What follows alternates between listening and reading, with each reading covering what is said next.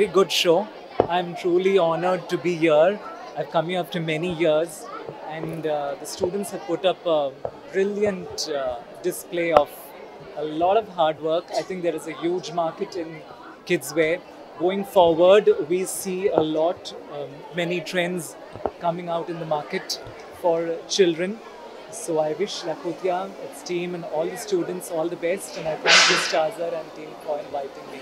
Thank you very much for the uh, very very very grand. That is evolve kid fashions. Lakhotia student have put a immense hard work.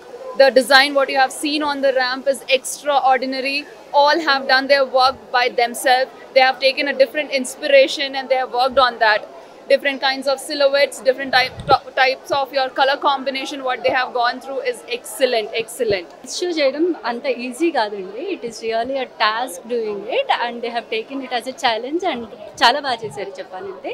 So they didn't get much time to prepare but still they D they gave the best in the performance అని చెప్పొచ్చు.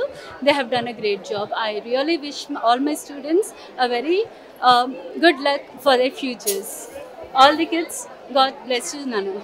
So I'm managing director of Lakhotia College, Afan, and today we held a kids fashion show uh, where nearly about uh, 100 garments were showcased by the students and uh, all the young minds. I mean, we have we never give importance to kids fashion shows everywhere. I mean, you, you see most of the colleges and most of the fashion shows happen only for the adult garments, but in the kids wear it's also a very big segment in in uh, apparel wear which uh, nobody actually praises. So you know, keeping all that uh, in mind, you know, we had given a tribute to all the garments of kids and of course, our students have performed exceptionally.